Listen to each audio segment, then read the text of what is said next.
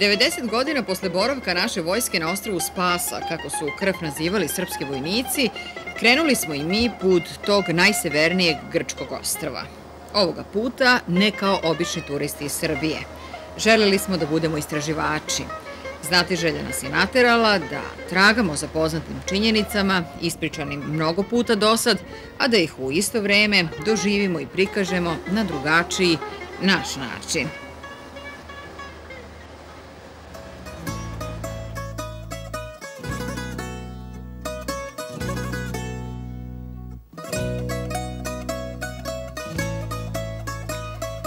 Od Igumenice, poslednjeg mesta na Kopnu, pa do Kerkire, glavnog grada ostrava Korfu, koga samo Srbi nazivaju Krf, turiste i meštane prevoze trajekti. Ima i onih koji putuju avionom, ali pravi užitak je ipak plovidba Jonskim morem.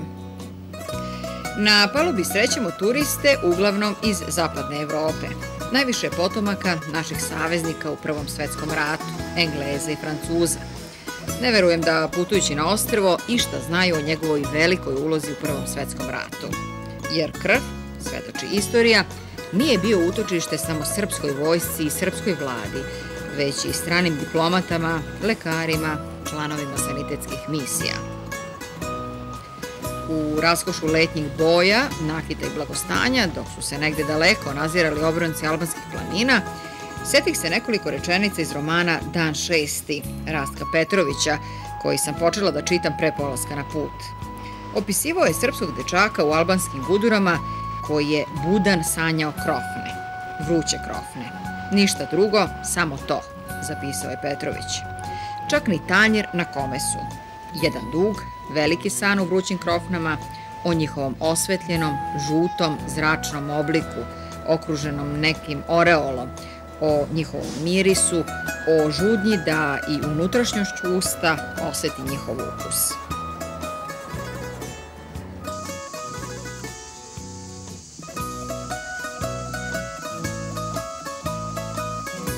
Kerkira je glavni grad ostrava. Naziv je po legendi dobio po lepoj nimfi, ženi boga Poseidana. Zelenim ostrvom gospodarili su mnogi, Rim, Vizantija, Venecija, Francuska, Britanija. I upravo zahvaljujući krfljenima, stari grad Kerkira ili Krf ostao je do danas isti kakav je bio i u vreme Prvog svetskog rata. Sa najvećeg trga, čuvene esplanade, najpre krećemo u Srpsku kuću. Ona je blizu centra grada, preko puta Jonske skupštine. Zgradu velike istorijske vrednosti krfljeni su nam ustupili 93. godine. Na Srpskoj kući, koja je u stvari svojevrstan muzej, od pre nekoliko godina viori Srpska trobojka. Ovo mesto je i počasni konzulat Republike Srbije na Krfu. Kao i sve posetioce, i nas dočekuje Ljubomir Saramandić, najbolji poznavalac srpske istorije na ostrvu. Želja mu je da nam pokaže i ispriča sve što zna da prenese utiske posetilaca koji ovde dolaze ne samo iz Srbije, već iz celog sveta. Najviše je, kako nam sam reče, Grka, Slovenaca, Crnogoraca, Engleza i Nemaca. Jedan utisak koji je za mene možda bio i najsnažniji je jednog mladića koji je, koji je prišao nakon posete Srpske kuće, koji je završio veterinu kao student generacije i koji se upravo spremao za odlazak u Nemačku. I nakon posete Srpske kuće mi je prišao i rekao, kaže, svi moji planovi su sada pod velikom sumom. Dakle, toliko je eh, on bio obuzet tim snažnim nacionalnim osjećanjem eh, i eh, sve ove fotografije su ga potpuno zbunile u verovatno njegovoj dilemi, kao što verovatno velika većina mladih koji kad završi fakultet ima otići ili ostati.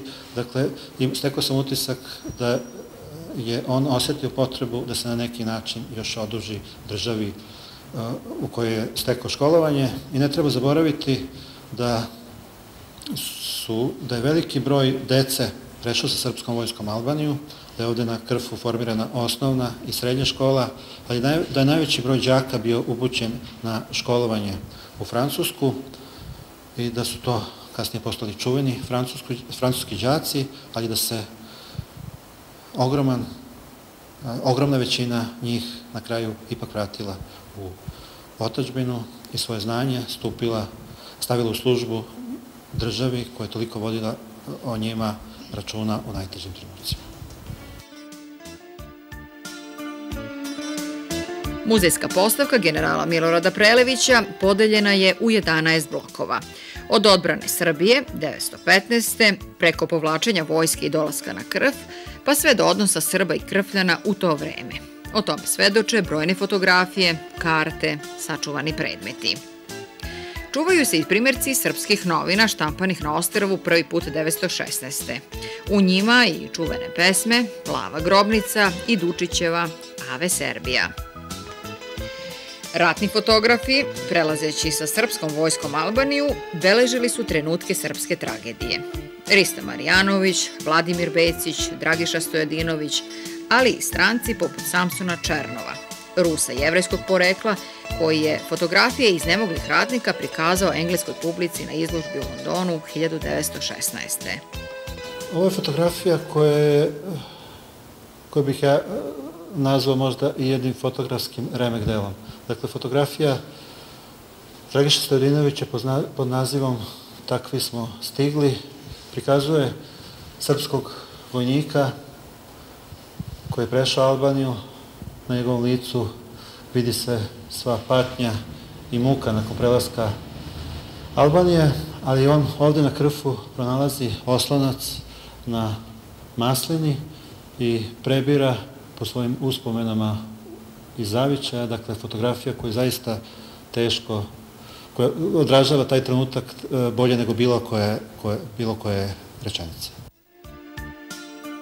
Iako su reprodukcija, fotografije su izuzetno uverljive. Neke su ovde dospele i iz porodičnih albuma potomaka srpskih ratnika.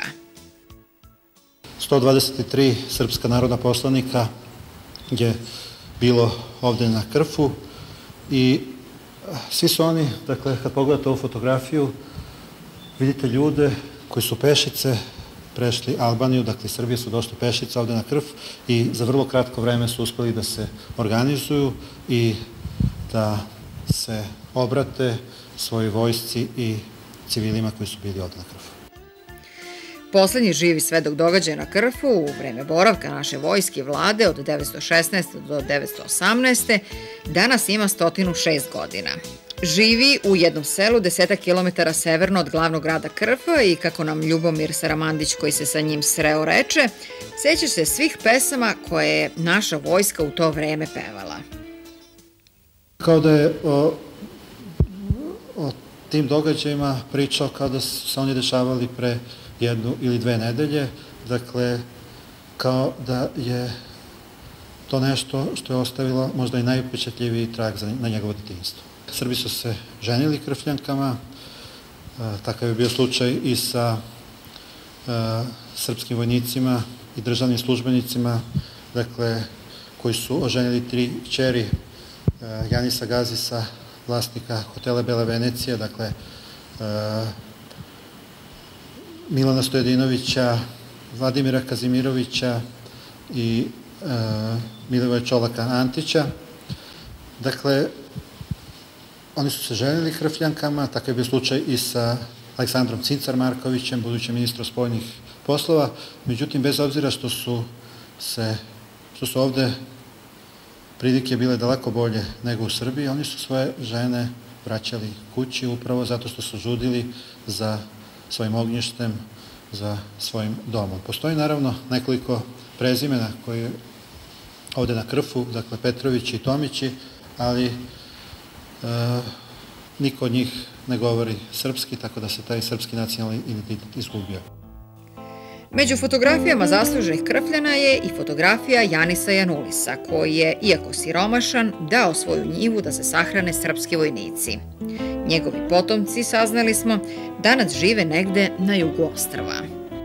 Treba posebno istaći taj podatak da srpski vojnik za sve vreme boravka ovde na Krfu, za, dakle u periodu dužem od dve i po godine, nijednu jedinu granu maslina ovde na Krfu nije slomio, nijedna krađa, tuča ili sličan incident nije zabeležen.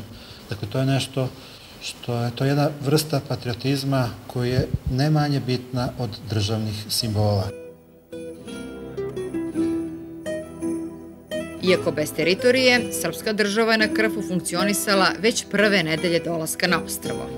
Narodna skupština i vlada zasedali su u zgradi Narodnog pozorišta koje su Nemci srušili bombardujući ostrvo 43.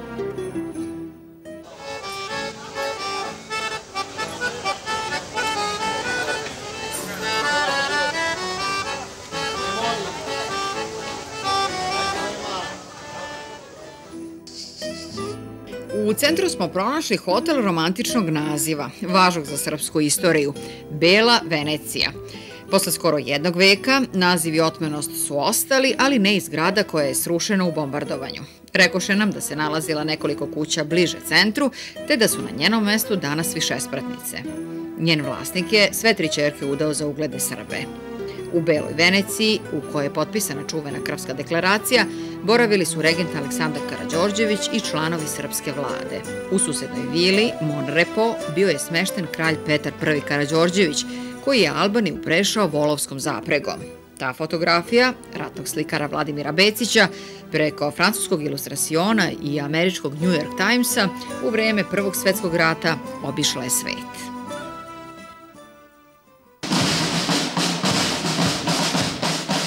Imali smo sreće da u vreme boravka na ostrvu prisustvujemo obeležavanju velikog dana za krfljane, iznošenje moštiju čudotvorca i zaštitnika ostrva Svetog Spiridona iz istoimene crkve. Veruje se da je četiri puta zaštitio ostrvo od prirodnih katastrofa i bolesti, a posebno početkom 18. veka od najezde Turaka, koji nikada nisu uspeli da osvoje krv.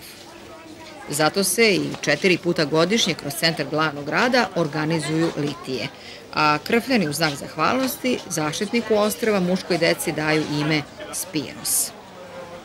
Srpska vojska i sveštenstvo često su posećivali crkvu Svetog Spiridona podignutu 1590. godine, čiju je ikonografiju uradio jedan bečki arhitekta. Krvska mitropolija je našoj vojsci u vreme Prvog svetskog rata ustupila tri crkve – Svetog Arhangela Mihajla, Svete Trojice i crkvu Svetog Nikole u kojoj je bila naša metropolija. Tokom službe najčešće je pevana pesma Tamo daleko, koja je u najtežim trenucima za srpski narod u izgnanstvu pretvorena u molitvu za spas, otečbinu i porodicu.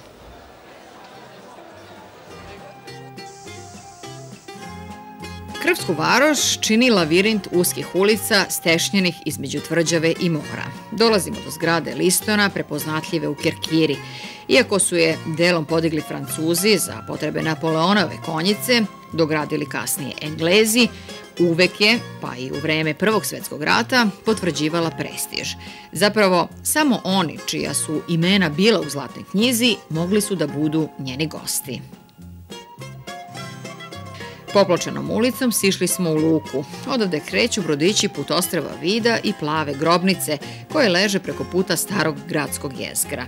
Tu nas je čekao Aleksandar Krstović, jedan od ovdašnjih turističkih vodiča, koji se leti druži sa srpskim turistima, upoznajući ih sa našom istorijom i prilikama na ostrvu.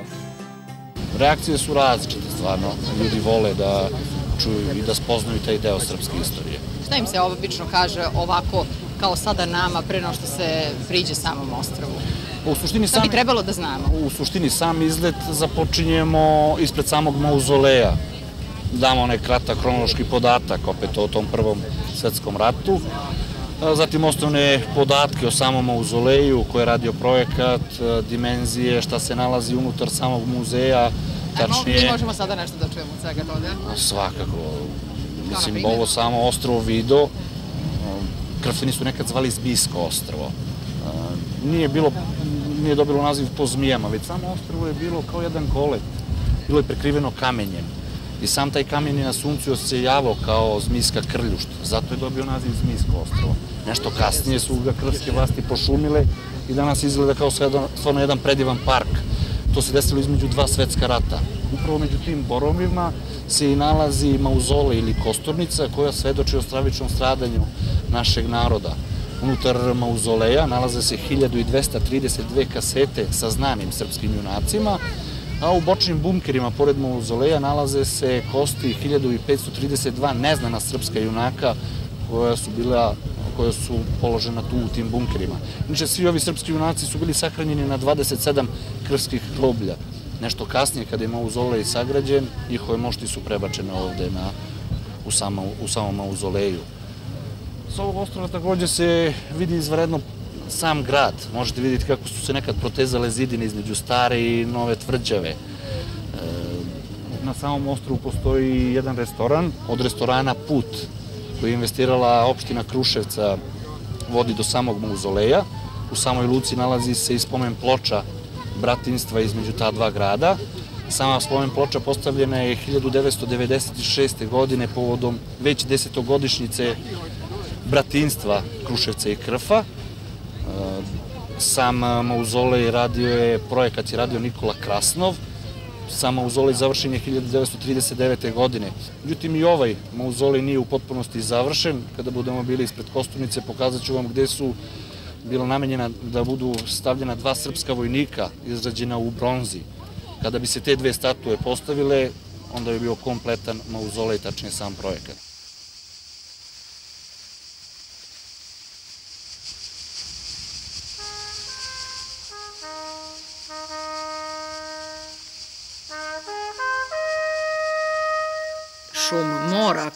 Ovde, reklo bi se, ima neobično modru boju, ostavilo je na nas koji smo prvi put na vidu poseban utisak. Parče zemlje koje neki nazivaju srpskim Jerusalimom, najtežim vojnicima koji su prepešačili put od Drača do Valone, bilo je jedino utočište. Više od 5000 njih se u Srbiju nikada nije vratilo. Zvuci cikada i udari talasa o kamenito ostrvo upotpunjavali su nekakav osjećaj straha, ponosa, priznajem i pomalo razočarenja, jer po onome što smo ovde videli, Srbije na vidu danas malo ima. Polomljeno granje, nezavršene staze, neuređen prostor oko spomen kosturnice. Domaćin mauzoleja je Marija, Grkinja poreklom, koja nosi čisto srpsko prezime Petrović. Iskreno se obradovala susretu, iako je strahovala zbog sporazumevanja. Your surname is Petrović. Yes. Why Petrović? Uh, this is my husband uh, uh, name. Prezivate se Petrović, otkud to? To je prezime moga muža. Njegov otac je iz Srbije, ali ne znamo iz kog kraja je došao. you know what is dobro, dobar dan, doviđenja. Da li znate šta znači dobro, dobar dan, doviđenja? Vrlo malo, to je veoma specifičan jezik. Koju reč znate? uh, hvala. Šta vas obično turisti koji dolaze ovde pitaju? Najčešće žele da znaju detalje o vojnicima. Kažem im da su u boksovima s polja sahranjena 1532 vojnika bez imena, dok kasete unutar mauzoleja imaju sve podatke o telima onih koji tu počivaju. Koliko ljudi dnevno dočekate? U sezoni oko 300. Marija nam je na vidu bila odličan domaćin. Trudila se da na pravi način pokaže koliko je i danas jaka ta veza srpskog i grčkog naroda, naročito na ovom mestu na kome je Srbin ponosan na svoje poreklo. To dokazuju i brojne posvete napisane ćirilicom i latinicom na srpskom jeziku, ali i na engleskom, nemačkom i ruskom.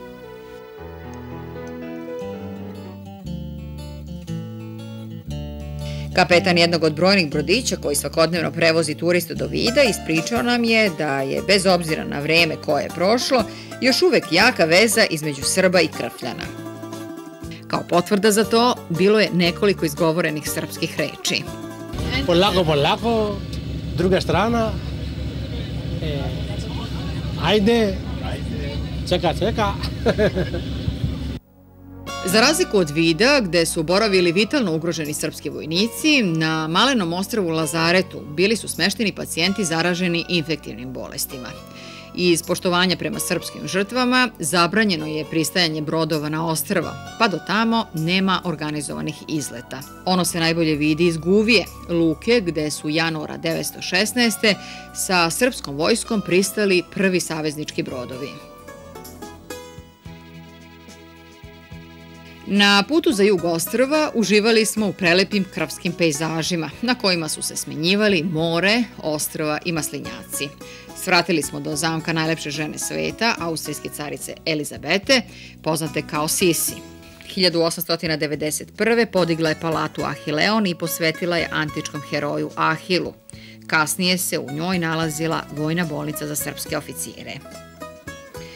Krenuli smo zapravo u planinski Agios Mateos, rodno selo Janisa Janulisa, čoveka čiju smo fotografiju prvi put videli u srpskoj kući.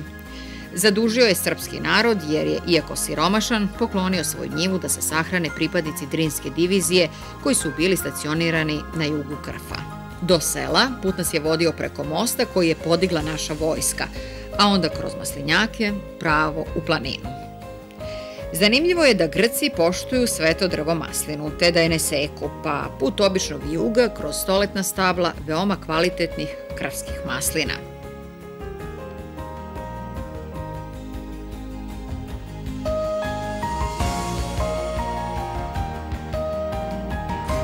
U slikovitom Agios Mateosu, meštani, povratnici iz zapadnoevropskih zemalja, uglavnom, osim maternjeg grčkog, govore i nemački jezik, ali kada smo pomenuli Serviko, Prvi svetski rat i Janulisa, znali su o kome se radi. Nisu se dvoumili da nam pokažu bistu sina slavne Helena, koju su podigli naše ljudi pre nekoliko godina. Rekli su nam da u povratku obavezno svratimo do spomenika Drinskoj diviziji na njivi Janisa Janulisa, da obiđemo spomen Česmu i odemo u goste njegovim potomcima koji žive u Moraitici na samom moru. Putokaz za česmu postoji, te nam je bilo lako da je pronađemo, doduše od visoke trave i neuređenog prostora, malo toga lepog je imalo šta da se vidi. Spomenik Drinskoj diviziji na njivi koju Janisovi naslednici zavetujući se nikada više nisu obrađivali i pored dobre volje nismo uspeli da nađemo. Putokaza jednostavno nije bilo ali zato u Muraitici uz osmeh nas je dočekao 73-godišnji Spiros Janulis, koji se dobro seća svega što su mu otac i deda pričali. Uspomene danas rado evocira sa svojom decom, uglavnom sa sinom Hristosom Janulisom, koji živi i radi u Nemačkoj. Mame iz Sećam se da su otac i deda pričali kako su vojnici umirali od kolere, kako su spavali na otvorenom, To je bila velika katastrofa za Srbe. Njihova smrt je bila izuzetno teška. Umirali su kao psi. Davali smo im hranu i negovali ih kako bismo ih spasili. Učili su mog oca da govori srpski. Umirali su svaki dan. Pevali su i umirali. Bila je neka pesma tamo daleko kraj Morave, toga se sećam. Pevao je otac sa njima svaki dan, o zemlji dalekoj sa planinama i rekama. Znao je celu pesmu tamo daleko, ali je se ja ne sećam. Znam da kažem... Dobro jutro. A, a, dobro jutro, ja. E. Kako si? Kako si? Εγώ θυμάμαι δύο λέξεις, daleko kraj mora. Αυτό θυμάμαι. All is remembered. Na rastanku nam je rekao da nikada nije bio u Srbiji i da bi to jako voleo. Poželeo je da ima srpsku zastavu i disk sa pesmama koje su vojnici pevali boraveći na ostravu Korfu ili na Krfu, kako su ga Srbi prozvali zbog lakšeg i kraćeg slanja telegrafa. Bili smo od reči. Vratili smo se u Srbiju, zadovoljni što smo videli i doživjeli nešto što nismo znali, ne zaboravljajući potomke čoveka iste vere, koji je i u tim najtežim trenucima za srpski narod pomogao braći iz Srbije. Put krfa i moraitike poslali smo srpsku zastavu i disk sa pesmama, koje je daleko od otačbine, na ostrvu Spasa, pevalo više od 150.000 vojnika i srpskih civila.